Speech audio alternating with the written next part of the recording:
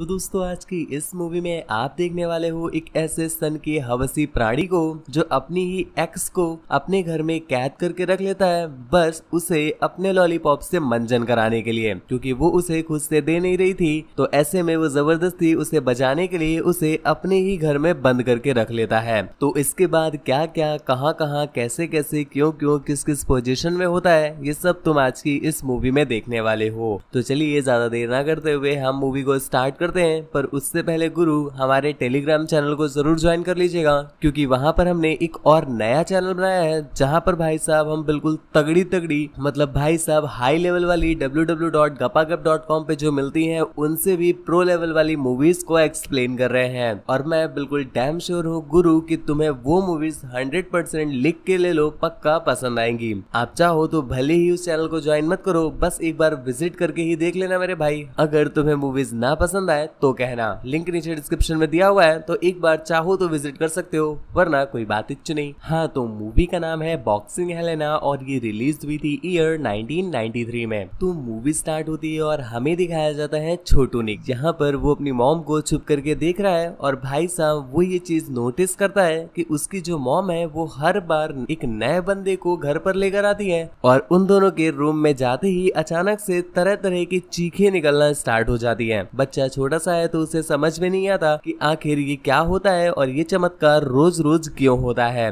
धीरे धीरे जब वो बड़ा होता है तो उसे ये सारी ज्ञान की बातें पल्ले पड़ जाती हैं। और यहाँ पर हम देखते हैं अगले सीन में कि निक बड़ा हो गया है और अब वो एक अच्छा खासा डॉक्टर बन गया है। पर अभी अभी ही उसकी मॉम की डेथ हो गई है, जिसके फ्यूनरल के बाद वो सीधा वापस आता है अपनी मॉम की प्रॉपर्टी पर, जो कि काफ़ी सही थी। और अब वो पूरी की पूरी उसके नाम हो गई है। खैर, अगले सीन में हम उसे देख पाते जाते हैं एक रेस्टोरेंट में।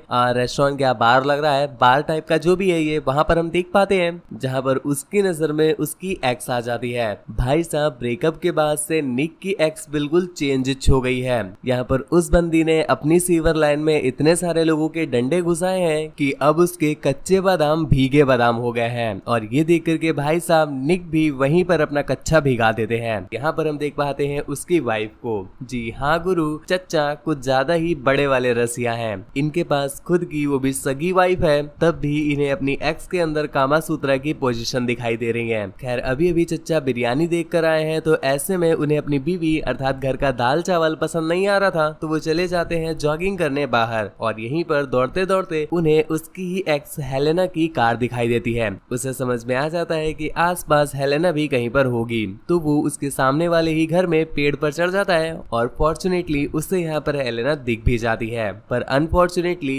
हेलेना अकेले नहीं थी। भाई, ये देख करके दुनिक की बिल्कुल झाड़ियाँ जल गई हैं तो वो सीधा जाता है अपने बेस्टी के पास। यहाँ पर वो उससे ज्ञान की बातें पेलने लग जाते हैं कि यार, मेरा पुराना प्यार जाग गया है और भाई तेरा अब प्यार में पड़ गया है, लेमड़ा थेमड़ा, अदरक, लहसुन, पुदीना, जो भी एक इश्क का हमारा आशिक बोलता है, वही ज्ञान की बातें यहाँ पर ये भी पेलने लग जाते हैं। लेकिन दूसरी तरफ़ हम हेलेना को देख पाते हैं, जिसका जो गैलेना है, वो उसका सड़ेला बॉयफ्रेंड नहीं भर पा रहा है। तो इस वजह से हेलेना उसे धर गरी आती है और समझाते हुए कहती है कि बस तुम बातें ही पेल सकते हो। तो ये सुनकर के रे के भी ईगो में लग जाता है और भाई साहब वो भी उसे धर गरियाने लगता है, जिसके बाद इन दोनों की लड़ाई हो जाती है। और समझ लो ये निब्बा निब्बी वाला ब्रेकअप वही समझ लो छोटा मोटा वाला जो ब्रेकअप है, वो इनका वाला ब्रेकअप हो जाता है। इसके अगले सीन में हम निक को देखते हैं, जो की अपने घर में एक पार्टी अरेंज करता है। और यहाँ पर जानबूझ करके हेलेना को तेल लगाकर किसी तरह से अपनी पार्टी में इन्वाइट कर लेता है, जिसके बाद वो पार्टी में उसके आगे पीछे लबर लबर करने लगता है और इस चीज़ को उसका फ्रेंड नोटिस कर लेता है। भाई साहब, हेलेना को देख करके उसके फ्रेंड का दिल गार्डन गार्डन होने लगता है और वो डिसाइड करता है कि अब तो वो हेलेन का गैलन अपने ही पाइप से भरेगा,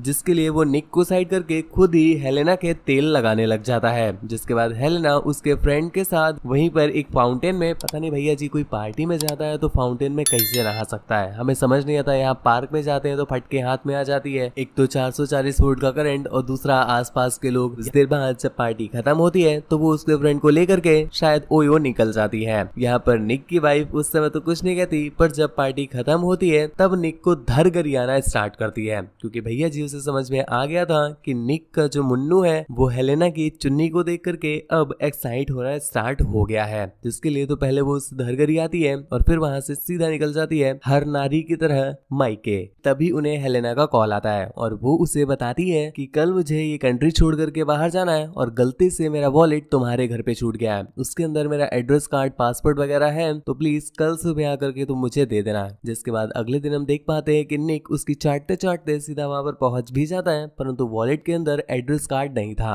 निक उससे बोलता है कि शायद वो मेरे घर पे ही कहीं छूट गया होगा तो चलो घर पे जल्दी से मैं तुम्हें दे देता हूँ। अब भैया जी हेलेना की फटी पड़ी है क्योंकि वो इम्पोर्टेंट भी है तो ऐसे में कहती है कि चलो ठीक है, मैं तुम्हारे घर चलती हूँ और यहाँ पर घर ले जा करके निक उसे खाना खाने के लिए ऑफ़र करता है। इसके साथ साथ वो उसे ज्ञान के कुछ रैप पेलता है जो कि कुछ इस तरह से थे। आ, चलेगी क्या?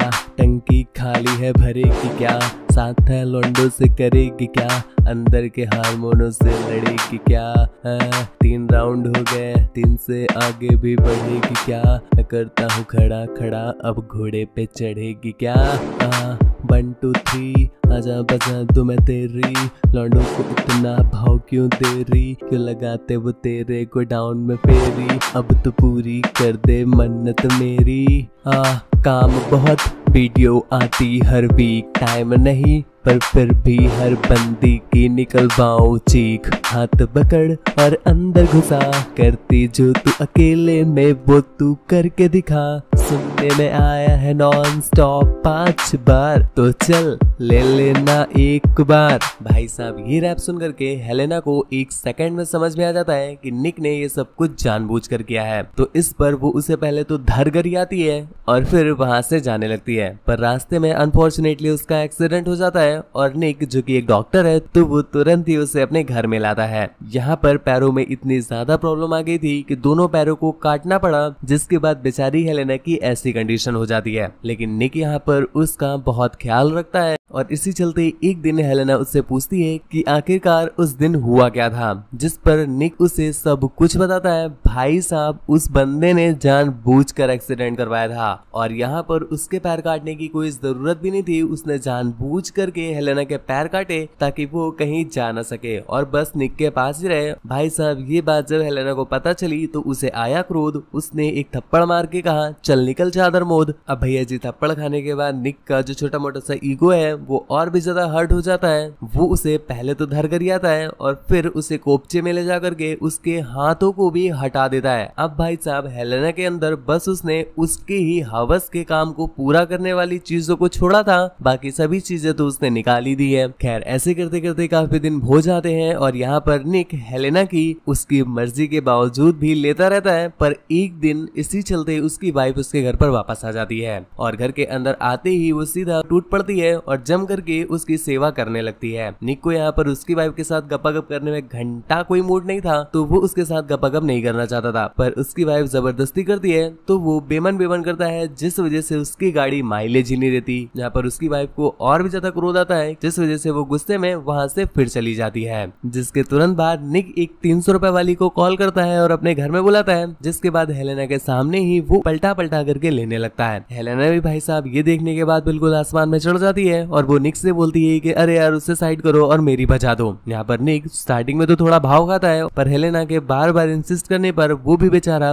कब तक अपने आप को रोकता, जिसके बाद वो भी उसे पलटा पलटा करके पेलने लग जाता है। खैर, यहाँ पर वो उसे पलटा पलटा कर पेल ही रहा था कि इतने में ही पीछे से हम हेलेना के उस बॉयफ्रेंड को देखते हैं, जिसकी गाड़ी स्टार्टिंग में माइलेज नहीं दे रही थी ना? हाँ ये वही बंदा है। तो वो निक के सामने हेलेना को इस तरह से देख करके भाई साहब उसकी तो झाड़ियाँ जल जाती हैं कि निक ने हेलेना के साथ ये क्या कांड किया, जिस पर वो निक को पकड़ कर पेलने लगता है, पर यहाँ पर दूसरी तरफ़ हेलेना वो अपने बॉयफ्रेंड को ही गरियाने लगती है और यहाँ से जाने को बोलती है, जिस वजह से उसका बॉयफ्रेंड वहाँ से चला जाता है और फिर हेलेना निक को चीख चीख करके उठाने लगती है। जिसके बाद जब निक की आँख खुली तो उसने देखा कि वो तो एक हॉस्पिटल में है और यहाँ पर उसे पता चलता है कि भाई साहब, जब हेलेना का उस दिन एक्सीडेंट हुआ था ना तो उसने ऐसा कुछ भी कांड नहीं किया था, बल्कि वो तो उसे सीधा हॉस्पिटल लेकर आया था और इस समय वो हॉस्पिटल में ही है। और ये जो सब कुछ हुआ है, वो तो बस उसने सपने में सोचा था। तो इसी के साथ ये मूवी यहीं पर एंड हो जाती है। गुरु हमारे नए वाले ग्रुप को एक बार ज़रूर चेकआउट करना। मैं पूरी तरह से श्योर हूँ कि आपको वीडियोस बहुत ज़्यादा पसंद आएँगी और आप बिल्कुल भी स्किप कर नहीं पाओगे। तो एक बार चाहो तो विज़िट करके देख लो। मज़ा ना आए तो नीचे कमेंट में बता देना। मूवी को डाउनलोड करना हो तो टेलीग्राम चैनल को ज्वाइन कर लो। हमारे पुराने वाले टेलीग्राम चैनल को। उसका लिंक भी नीचे डिस्क्रिप्शन में दिया हुआ है। वहाँ पर आपको मूवीज़ का लिंक मिल जाएगा। गुरु, हम आपको एक बार फिर से रिमाइंड करा दें कि हमारा